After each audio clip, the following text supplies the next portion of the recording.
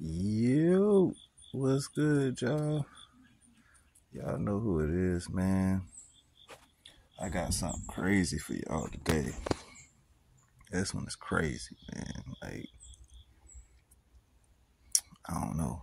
I mean, some people probably could expect it to happen. I mean, me personally, I I wouldn't have never seen it happen this soon. So they're saying right now, uh, Oprah, she had her house uh, was basically kind of raided.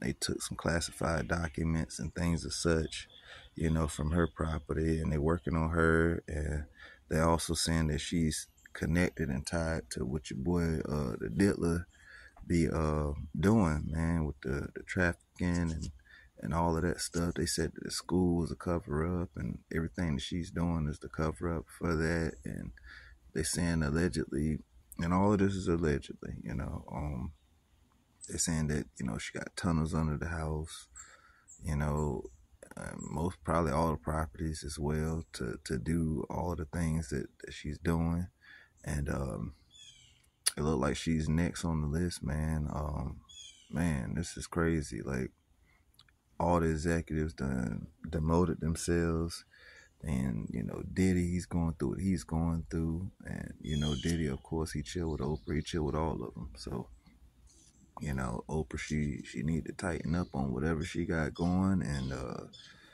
try to try to get away from the situation if it ain't already too late. Um, it ain't looking good for her, man. Uh, this is a, crazy situation for her to be in. Uh, I'll be honest, it's a crazy situation for her to be in, man. And the way it's going, it's going down quick. And you know, she's a mogul, you know, and she's a, a billionaire at that too. So they're gonna bash her even more, you know, to try to bring her down, you know, and uh, man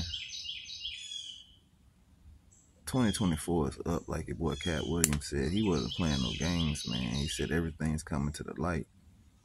That's why everybody's being quiet. I mean, like even with the case with the Diddy thing, there's over a hundred names so far. This is not even everyone, and then they saying it's over a hundred that's gonna be testified so far. And one of the attendees was Oprah. Of course, I mean, she he's chilled with every single person in Hollywood. You know, so that's just a given.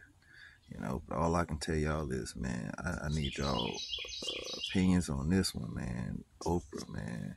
You know, some people don't think about that, but you know, shit's going down. It's going down bad, and uh, y'all gotta see how they just did her house, man. And tune in on this. Drop the comments, man. Let me know what y'all think about this one. We're gonna have another conversation on this, man. This is crazy, and uh hit the subscribe button, man. Check out the next video that uh that's followed behind this one. That's uh the next segment to uh Oprah. Hey there, folks.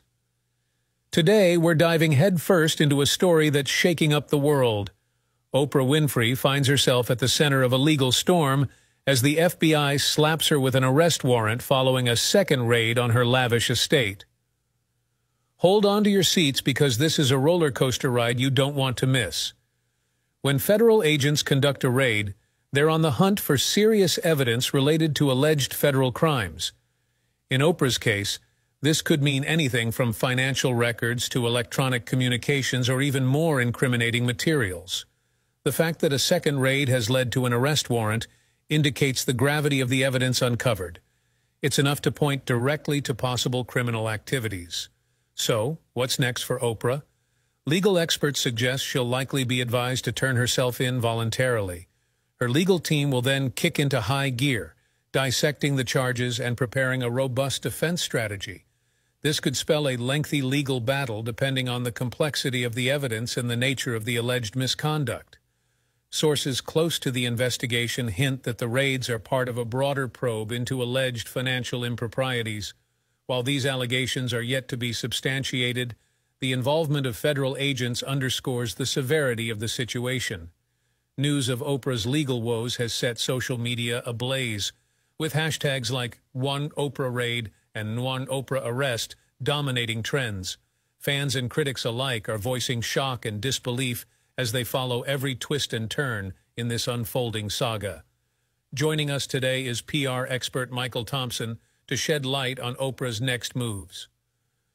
Oprah's team needs to act swiftly and transparently, he advises. They should issue a statement acknowledging the investigation while steadfastly asserting her innocence.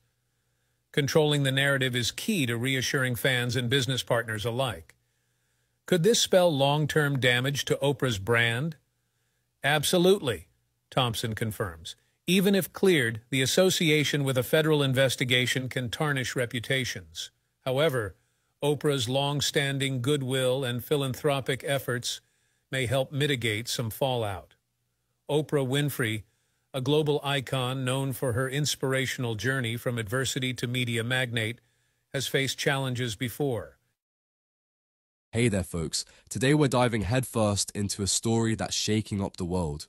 Oprah Winfrey finds herself at the center of a legal storm as the FBI slaps her with an arrest warrant following a second raid on her lavish estate. Hold on to your seats. Because this is a roller coaster ride you don't want to miss when federal agents conduct a raid. They're on the hunt for serious evidence related to alleged federal crimes. In Oprah's case, this could mean anything from financial records to electronic communications or even more incriminating materials. The fact that a second raid has led to an arrest warrant indicates the gravity of the evidence uncovered. It's enough to point directly to possible criminal activities. So what's next for Oprah? Legal experts suggest she'll likely be advised to turn herself in. Voluntarily, her legal team will then kick into high gear dissecting the charges and preparing a robust defense strategy.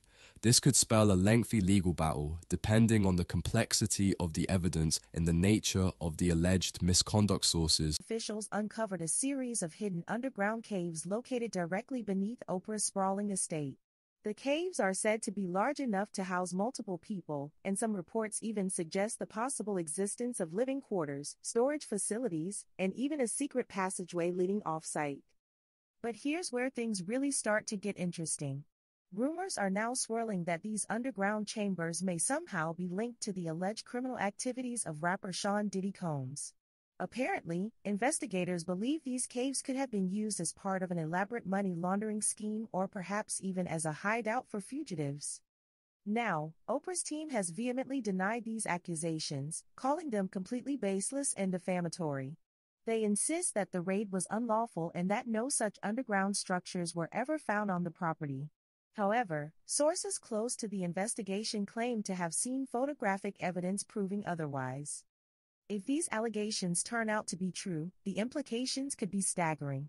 Oprah's reputation and legacy as a beloved media mogul and philanthropist could be irreparably damaged, and her potential involvement with Diddy's alleged criminal enterprises could land her in serious legal jeopardy. Now, of course, we have to take all of this with a grain of salt for now, as the details are still emerging and nothing has been officially confirmed. According to sources familiar with the investigation, the federal raid on Oprah's estate was part of a larger probe into money laundering and racketeering activities potentially connected to Sean Diddy Combs. It was during the execution of this search warrant that investigators claimed to have stumbled upon the hidden underground chambers. The caves were meticulously concealed, with sophisticated security features and access points. It was clear this wasn't some amateur operation. A lot of time, money, and planning had gone into creating these facilities underneath Oprah's property. Speculation is rampant about how these underground structures could have been utilized. Some theorize they may have served as a secure location to stash illicit funds or as a hideout for individuals wanted by the authorities. Others have suggested more nefarious possibilities, such as human trafficking. I can't wait. I can't wait for everybody to find out what's really been going on in the background. Trying to say this to my friends who had children. You're seven years old and someone is stroking your. It feels good. Because you're, you're going to be a big voice for the future. And I, I need them to know what the dangers are. Absolutely. Jaguar Wright has just dropped some explosive allegations that could shatter Oprah Winfrey's pristine image. Imagine this. Secret, wild parties at Diddy's mansion, where young rappers are supposedly drawn into a dangerous whirlpool of substances and exploitation. That's right, the queen of empowerment herself, Oprah, is accused of being at the center of this scandalous scene. If these claims are true, Oprah's legacy might never recover. Dive into the details with us as we unravel this jaw-dropping story that's got everyone talking. This is all impromptu. Mm -hmm. Um, I, I'm triggered. So, Oprah, the beloved media mogul, is alleged to have not only attended, but also organized these infamous freak off parties. But what really happens at these gatherings? The tales are as horrifying as they are sensational. According to multiple sources and eyewitness accounts, these parties are far from ordinary celebrity soirees. These events are reportedly rife with illicit substances, hidden cameras, and rampant exploitation. Victims have described scenes of debauchery and manipulation, where attendees are coerced into compromising situations, all under the influence of powerful substances. Hello? I once had Diddy text me, welcome to the family, but I was by a platinum selling producer who was one of his cohorts. It said that Diddy employs a cadre of enablers who facilitate these activities, ensuring that no evidence escapes the confines of his heavily monitored mansions. The Department of Homeland Security conducting a raid at a house in Holmby Field Hills, believed to be connected to Sean Combs. Shots of a few people coming out of the home. Those people have been detained. Now we're trying to still connect the dots. We do have some sources on scene here that we're getting this information. One insider revealed that these parties serve a dual purpose. Not only are they a playground for the elite, but they are also a cunning means of business. Newcomers to the industry are allegedly lured with the promise of networking and opportunity, only to find themselves ensnared in a web of blackmail and exploitation. Hidden cameras, strategically placed throughout Diddy's properties, capture every compromising moment, providing a trove of potential leverage against the partygoers. Replete with very, very serious and salacious allegations, uh, including allegations that uh, Combs had cameras throughout his. As the story unfolds, the role of Oprah Winfrey becomes even more disturbing. It's claimed that Oprah, leveraging her vast network and influence, was instrumental in recruiting new faces for these events. Her connections in the industry allowed her to handpick individuals who would be most susceptible to manipulation, ensuring a steady stream of fresh victims. Oprah's involvement allegedly went beyond mere participation. She is accused of using these parties as a means to secure business deals and eliminate competitors. This leads us to the question, how did this clandestine operation function so seamlessly for so long? The answer lies in a meticulously crafted scheme. Oprah and Diddy are said to have used their celebrity status to create an illusion of exclusivity and privilege. Attendees, often young and eager to climb the social ladder, were drawn into the promise of rubbing elbows with industry giants. Once inside, the reality was starkly different. Guests were plied with substances, coerced into illicit activities, and filmed without their consent. 2007, Oprah Winfrey opened up a boarding school in South Africa. The academy had salons and gyms in it. Allegations have surfaced that this school was a front for child trafficking. These girls would be allegedly groomed to be ready for sale. Oprah handpicked the young girls who attended her school based on physical appearance, but it wasn't long until word got out about what really the school was about. Turns out these young girls were being touched or broken in by one of the employees there to allegedly get them ready for clients. Oprah vehemently denied any involvement in or knowledge of Diddy's criminal activities. She expressed her outrage at being implicated in such serious allegations, describing them as baseless and defamatory. Oprah's statement emphasized her commitment to ethical conduct and transparency throughout her career. Behind the scenes, sources close to Oprah report that she is deeply distressed by the allegations. Friends and associates have described her as losing it, indicating the immense personal toll the scandal is taking on her. Oprah is reportedly working closely with her legal team to address the claims and clear her name. The public and media reaction to the allegations against Oprah has been mixed, reflecting the complex nature of her public persona and the severity of the claims. Many of Oprah's fans and colleagues have rallied in her defense, arguing that the allegations are out of character for someone who has built a career on integrity and positive influence. High profile figures in the entertainment industry have voiced their support, emphasizing Oprah's contributions to society and her long standing reputation for ethical conduct. Conversely, there is a significant amount of skepticism and criticism. Some individuals believe that the allegations warrant a thorough investigation, regardless of Oprah's public image. Critics argue that no one should be above scrutiny, and that the truth must be uncovered, no matter how influential the person involved. The allegations and the ensuing scandal have significant potential implications for Oprah's career, public image, and legacy. If the allegations persist or are substantiated, Oprah's reputation could suffer irreparable damage. Her image as a trusted media figure and philanthropist would be severely tarnished, affecting her ability to influence and inspire.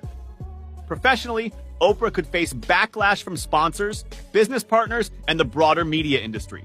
Breaking news. Shannon Sharpe has sued Oprah Winfrey for a massive $57 million. Yep, Shannon's accusing Oprah of ruining his career. Sources say Oprah blocked big-name guests from appearing on Shannon's show. To be clear, this all blew up after Shannon brought on comedian Katt Williams, who exposed some untouchable Hollywood secrets. And guess who didn't like that? Yes, it's Oprah. Allegedly, she used her power behind the scenes to ruin Shannon's rise. Guests started canceling last minute, and doors began closing on him. Shannon's not taking it lying down, though, and now he's coming for Oprah with a huge lawsuit, claiming she damaged his reputation and cost him millions in potential contracts. And it's not just Shannon. Katt Williams even hinted that Oprah's got serious pull, saying she's like a Hollywood handler who silences anyone who crosses her. Remember Mo'Nique's feud with Oprah? The same whispers of control have followed Oprah for years. Could Oprah really be that powerful?